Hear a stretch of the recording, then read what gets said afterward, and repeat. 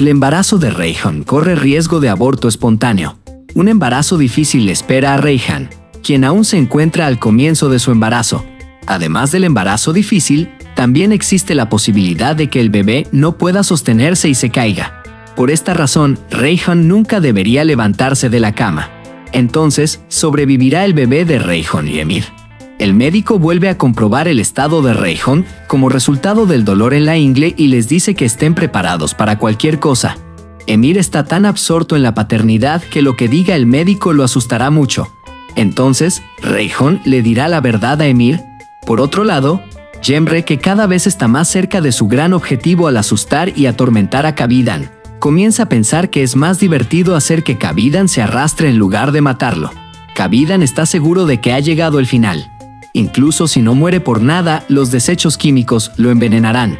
Por otro lado, Emir y Reyhan intervienen en la relación de Kemal y Narin. Reyhan, que piensa que hay diferentes motivos detrás de la separación de Kemal y Narin, le pide a Kemal que investigue cuál podría ser ese motivo, mientras que Emir le pide que persiga su amor sin darse por vencido. Kabidan finalmente está en manos de Jemre y está indefenso.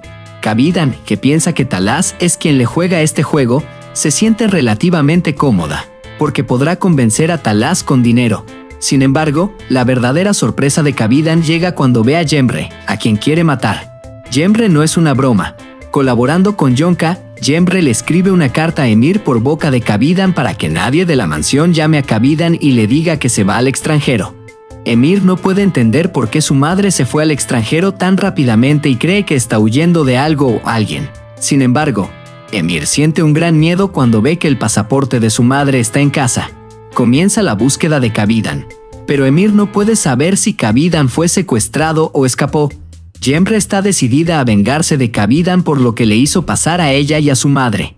Jemre quiere que Kabidan experimente lo mismo que la asustaba de los ratones y la muerte. Kabidan le tiene mucho miedo a los ratones. Es hora de vengar a su madre muerta. Dejará morir a Jemre Kabidan sin pestañear pero creemos que Talas salvará a Kabidan. Por otro lado, Kemal todavía se resiste a no dejar entrar a Narin a la casa. Kemal decide que primero debe olvidar a Narin y luego hacer que Masal lo olvide. Pero cada día Masal empeora y Kemal pierde a Masal por sus propias ambiciones ante sus ojos. Si Narin quiere apoyar a Masal, siempre encuentra el obstáculo de Kemal.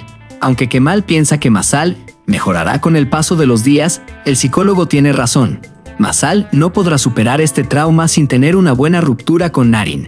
Mientras Oya culpa a Narin de todo, Kemal no quiere escuchar nada bueno ni malo sobre la mujer de la que está enamorado. Kemal finalmente decide traer a Narin de regreso a la mansión.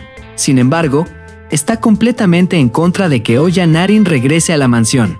Narin ahora quiere revelar los hechos.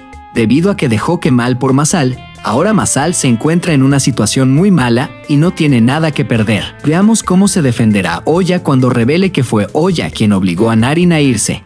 Veamos si Narin podrá perdonar a Kemal Oya cuando regrese a la mansión. ¿Oya volverá a ir al extranjero?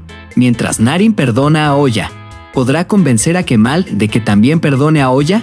Veremos las respuestas a todas estas preguntas en la semana 46 de la serie de televisión Jemin. El resumen del episodio 227 de la serie de televisión Yemin se agregará a nuestra página cuando se publique. Si bien la serie Yemin, que continúa su rodaje en Turquía sin interrupción, hizo feliz al público al continuar el rodaje, por otro lado, entristeció al público cuando Jemre apareció de nuevo y causó problemas a Reyhan.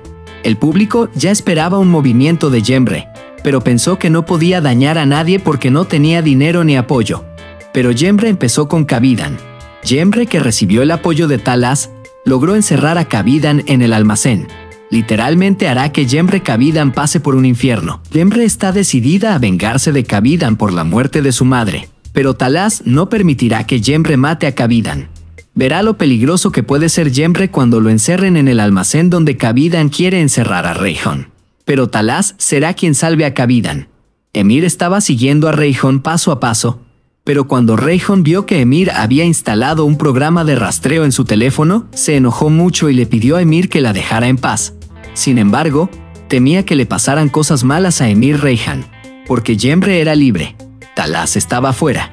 Finalmente, Los temores de Emir se hicieron realidad y su esposa y su hijo por nacer cayeron en manos de un maníaco. Dado que Jembre no estaba mentalmente sano, el trabajo de Rayhon sería relativamente más fácil esta vez. Pero Rayhon no podrá deshacerse de Jembre sin ayuda externa. Entonces, ¿podrá Emir salvar a Rayhon esta vez?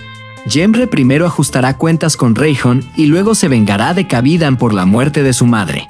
Kemal, por otro lado, no quiere que Narin y Masal se reúnan, aunque el psicólogo dice que Masal y Narin deberían romper en buenos términos.